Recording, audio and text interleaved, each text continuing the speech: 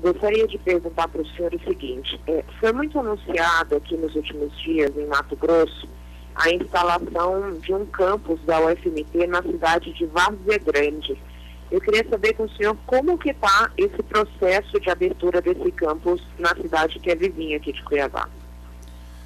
Olha, a, o pleito de Várzea Grande, como você sabe, é muito antigo, né? A, os investimentos ficavam concentrados em Cuiabá, os investimentos do Ministério da Educação, e nós queremos descentralizar.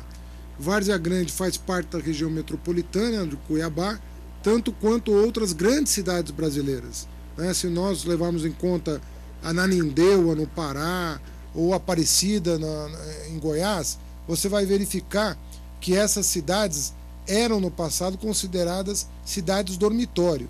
E nós queremos rever essa política, justamente descentralizando os nossos investimentos para que uh, essas cidades ganhem uma outra estatura em pé de igualdade com a capital. Então nós estamos levando tanto para Aparecida, quanto para Nanindeua, quanto para uh, para Várzea Grande, investimentos que vão transformar a realidade dessas cidades.